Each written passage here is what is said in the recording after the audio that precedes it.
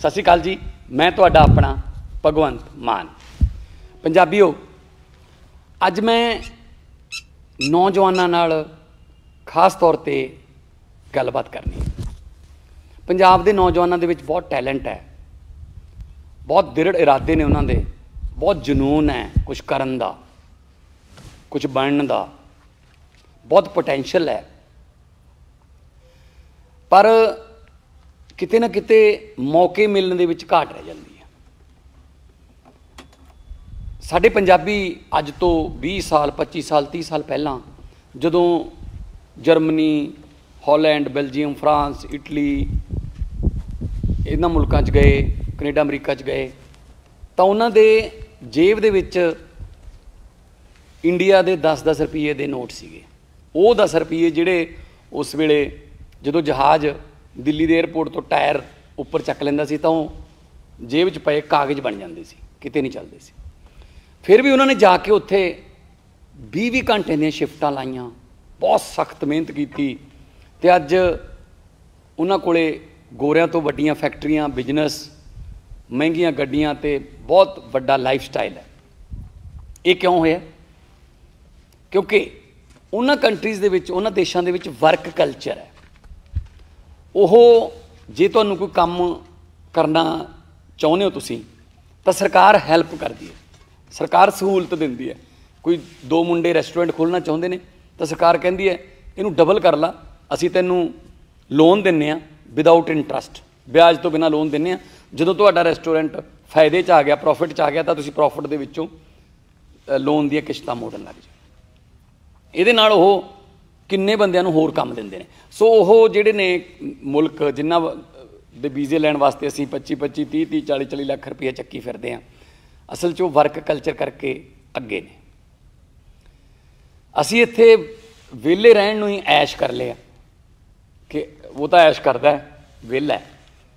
ਜਦ ਕਿ ਉਹਨਾਂ ਮੁਲਕਾਂ ਦੇ ਵਿੱਚ ਜਿਹੜਾ ਸਭ ਤੋਂ ਅਮੀਰ ਹੈ ਅਮਰੀਕਾ ਦਾ ਬੰਦਾ, ਉਹ ਵੀ ਕਹਿੰਦਾ ਮੈਂ ਜੌਬ ਤੇ ਚੱਲਿਆ।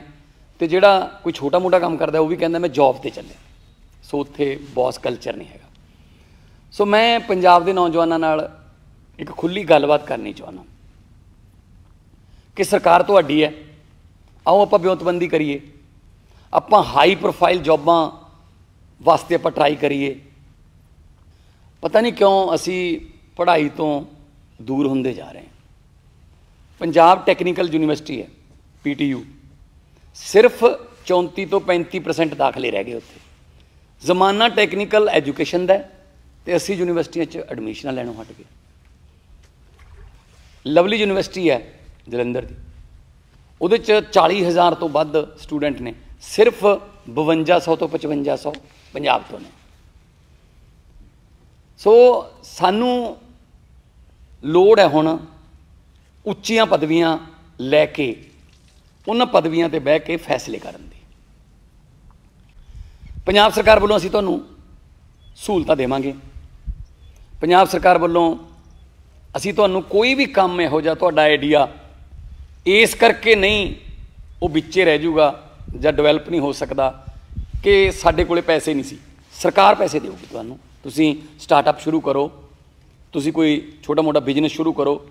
ਉਹਨੂੰ ਅੱਗੇ ਵਧਾਵਾਂਗੇ। ਮੈਂ ਚਾਹੁੰਦਾ ਪੰਜਾਬ ਦੇ ਨੌਜਵਾਨ ਨੌਕਰੀਆਂ ਮੰਗਣ ਵਾਲੇ ਨਹੀਂ। ਨੌਕਰੀਆਂ ਵੰਡਣ ਵਾਲੇ ਹੋਣ। ਜੌਬ ਸੀਕਰਸ ਨਹੀਂ ਜੌਬ ਪ੍ਰੋਵਾਈਡਰਸ ਹੋਣ। ਮੈਂ ਸਵੇਰੇ 5 ਵਜੇ ਦੇ ਲਗਭਗ ਉੱਠ ਖੜਦਾ। 5:30 ਪੌਣੇ 6 ਵਜੇ ਮੈਂ ਫਾਈਲਾਂ ਮੰਗਵਾ ਲੈਣਾ ਉਹ ਫਾਈਲਾਂ ਸਰਕਾਰ ਦੀਆਂ, ਜਿਨ੍ਹਾਂ ਦੇ ਵਿੱਚ ਪੰਜਾਬ ਦਾ ਭਵਿੱਖ ਦੱਬਿਆ ਪਿਆ ਸਾਨੂੰ ਲੀਡਰਾਂ ਨੇ ਦਿਖਾਇਆ ਹੀ ਨਹੀਂ ਉਹਨਾਂ ਫਾਈਲਾਂ ਚੋਂ ਮੈਂ ਲੱਭਣ ਦੀ ਕੋਸ਼ਿਸ਼ ਕਰਦਾ। ਮੈਂ ਦਿਨ 'ਚ 10 10 12 12 ਘੰਟੇ ਕੰਮ ਕਰਦਾ। ਕਈ ਵਾਰੀ ਜਿਹੜਾ ਜ਼ਿਆਦਾ ਟਾਈਮ ਵੀ ਲੱਗ ਜਾਂਦਾ ਕਈ ਵਾਰੀ ਸੈਚਰਡੇ ਸੰਡੇ ਵੀ ਲਗਾਤਾਰ 5 5 6 6 7 7 ਸੈਚਰਡੇ ਸੰਡੇ ਵੀ ਜਿਹੜੇ ਨੇ ਉਹ ਸੈਕਟਰੀਏਟ ਦੇ ਦਫ਼ਤਰ 'ਚ ਕੰਮ ਤੇ ਹੁੰਨੇ ਆ। ਮੈਨੂੰ ਅੱਛਾ ਲੱਗਦਾ ਹੈ ਕਿ ਪੰਜਾਬ ਦੇ ਲੋਕਾਂ ਨੇ ਮੈਨੂੰ ਇੱਕ ਕੰਮ ਦਿੱਤਾ, ਮੇਰੀ ਜ਼ਿੰਮੇਵਾਰੀ ਮੇਰੇ ਸਿਰ ਤੇ ਪਾਈ ਹੈ, ਤਾਂ ਮੈਂ ਉਹਨੂੰ ਨਿਭਾ ਰਿਹਾ। ਸੋ ਆਪਾਂ ਇਹ ਵਰਕ ਕਲਚਰ ਜਿਹੜਾ ਡਿਵੈਲਪ ਕਰੀਏ। ਮੈਂ ਚਾਹੁੰਦਾ, ਪੰਜਾਬ ਦੇ ਨੌਜਵਾਨ ਬਹੁਤ ਵੱਡੀ ਗੱਡੀ 'ਚ ਬਹਿ ਕੇ ਜਦੋਂ ਆਪਣੇ ਆਫਿਸ ਜਾਣ ਤਾਂ ਉਹਨਾਂ ਦੇ ਬਹੁਤ ਵੱਡੇ ਦਫ਼ਤਰ ਦੇ ਬਹੁਤ ਵੱਡੇ ਗੇਟ ਖੁੱਲਣ, ਨਾ ਕਿ ਕੋਈ ਜੇਲ੍ਹਾਂ ਦੇ ਗੇਟ ਖੁੱਲਣ। ਨੌਜਵਾਨਾਂ ਵੀਰਾਂ ਨੂੰ ਮੈਂ ਕਹਿਣਾ ਚਾਹੁੰਦਾ ਕਿ ਆਪਣੇ ਰੋਲ ਮਾਡਲ ਖੁਦ ਬਣੋ। ਆਪਣੇ ਰੋਲ ਮਾਡਲ ਖੁਦ ਬਣੋ। ਅਸੀਂ ਹਰ 2 ਮਹੀਨੇ ਬਾਅਦ ਰੋਲ ਮਾਡਲ ਬਦਲ ਲੈਂਦੇ ਆ ਤੇ ਉਹ ਰੋਲ ਮਾਡਲ ਸਾਡੇ ਜਜ਼ਬਾਤਾਂ ਨਾਲ ਖੇਡ ਕੇ ਜਾਂ ਸਾਡੇ ਨਾਂ ਤੇ ਕਮਾਈਆਂ ਕਮਾਈਆਂ ਕਰਕੇ ਉਹ ਸਾਨੂੰ ਛੱਡ ਜਾਂਦੇ ਨੇ ਵਿਚਾਲੇ। ਸੋ ਇਸ ਕਰਕੇ ਪੰਜਾਬ ਸਰਕਾਰ ਵੱਲੋਂ ਇਹ ਫੈਸਲਾ ਕੀਤਾ ਗਿਆ ਕਿ ਤੁਹਾਡੇ ਨਾਲ ਅਸੀਂ ਗੱਲਬਾਤ ਕਰਾਂਗੇ। ਮਹੀਨੇ ਦੇ ਵਿੱਚ ਦੋ, ਹਰ 15 ਦਿਨਾਂ ਬਾਅਦ ਨੌਜਵਾਨ ਸਭਾਵਾਂ ਕਰਿਆ ਕਰਾਂਗੇ। ਨੌਜਵਾਨ ਸਭਾ ਰੱਖ- ਆਪਾਂ ਕਰਾਂਗੇ।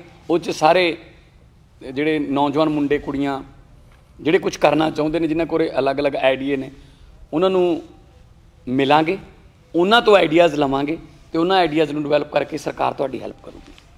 ਭਾਵੇਂ ਉਹ ਟਰਾਂਸਪੋਰਟ ਦੇ ਵਿੱਚ ਹੋਵੇ, ਭਾਵੇਂ ਉਹ ਕਿਸੇ ਹੋਰ ਖੇਤੀ ਸੈਕਟਰ 'ਚ ਹੋਵੇ, ਭਾਵੇਂ ਉਹ ਕਿਸੇ ਵੀ ਫੀਲਡ ਦੇ ਵਿੱਚ ਹੋਵੇ, ਤੇ ਅਸੀਂ ਚਾਹੁੰਦੇ ਹਾਂ ਕਿ ਸਾਡੇ ਪੰਜਾਬ ਦੇ ਨੌਜਵਾਨ, ਜਿਨ੍ਹਾਂ ਦੇ ਇਰਾਦੇ ਬਹੁਤ ਦ੍ਰਿੜ ਨੇ ਤੇ ਜਿਨ੍ਹਾਂ ਦੇ ਵਿੱਚ ਜਨੂਨ ਹੈ, ਉਹ ਉੱਚੀਆਂ ਪਦਵੀਆਂ ਤੇ ਹੋਣ। ਸੋ ਨੌਜਵਾਨਾਂ ਨੂੰ ਮੇਰੀ ਬੇਨਤੀ ਹੈ ਕਿ ਆਪਾਂ ਮਿਲਿਆ ਕਰਾਂਗੇ। ਸਰਕਾਰ ਵੱਲੋਂ ਸਹੂਲਤਾਂ ਮਿਲਣਗੀਆਂ ਸਰਕਾਰ ਤੁਹਾਡੀ ਹੈ, ਬਿਉਂਤਬੰਦੀ ਬਣਾਈਏ ਤੇ ਪੰਜਾਬ ਦੇ ਨੌਜਵਾਨ ਪੂਰੀ ਦੁਨੀਆ ਤੇ ਜਿੱਥੇ ਵੀ ਜਾਣ, ਉਹ ਆਪਣੀ ਛਾਪ ਛੱਡਣ ਤੇ ਜਿੱਥੇ ਵੀ ਜਾਣ, ਉਹਨਾਂ ਦੀ ਕਦਰ ਹੋਵੇ, ਉਹਨਾਂ ਨੂੰ ਸਲੂਟ ਪੈਣ ਤੇ ਉਹਨਾਂ ਦੇ ਮਾਣ ਸਤਿਕਾਰ ਦੇ ਵਿੱਚ Subscribe now and press the bell icon.